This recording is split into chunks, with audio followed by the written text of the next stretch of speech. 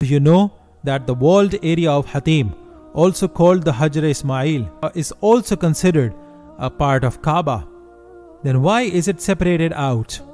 Also, some historians say that Kaaba is home to the graves of several prophets. Is that true?